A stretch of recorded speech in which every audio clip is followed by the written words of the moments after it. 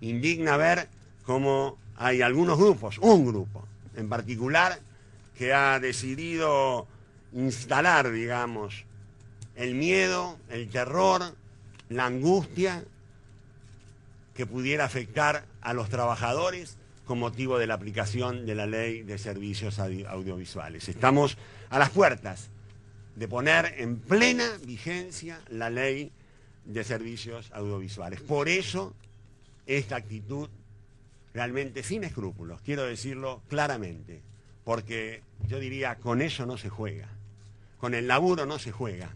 A la Argentina le costó mucho el esfuerzo de todos los argentinos y argentinas para recuperar y ponerse de pie en materia de empleo, para generar 5 millones de puestos de trabajo, para tener los convenios colectivos que le, sirvan a todos. Acá se van a crear más fuentes de trabajo.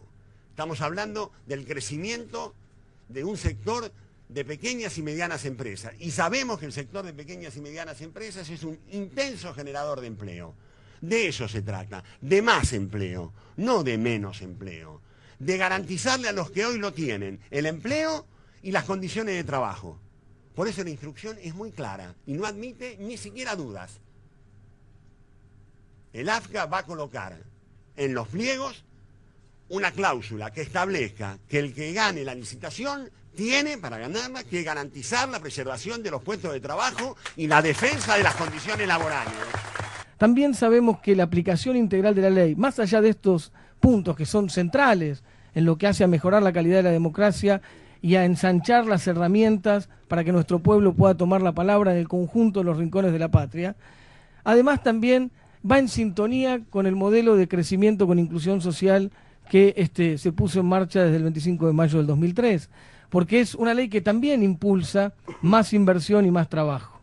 La adecuación, que en algunos momentos se, nombra como desinversión, en realidad lejos está de ser desinversión, porque la adecuación produce más inversión, porque es más unidades productivas comunicacionales, más este, emisoras radiales, televisivas y por lo tanto también más trabajo. La ley no es para un grupo, ni para dos, ni para tres, es para todos.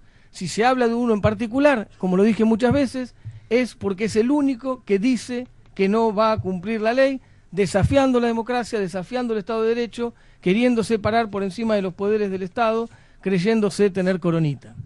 En el 2003 habían alrededor de 28.000, 28.600 eh, trabajadores que pertenecían al sector audiovisual. En el 2012, en el primer trimestre, esa cifra creció casi a 52.000 trabajadores. Es una cifra impactante, lo que implica todo el proceso de transformación que se ha generado en el marco del sector audiovisual, el sector de las comunicaciones. Obviamente lo maravilloso que implica la ley de medios, con la noticia también de lo que ha decidido hoy el tema de la Corte Suprema. Al margen de eso, yo quiero celebrar todo el fomento que hace la industria a partir de una política con la instrucción precisa por parte de la presidenta doctora Cristina Fernández de Kirchner.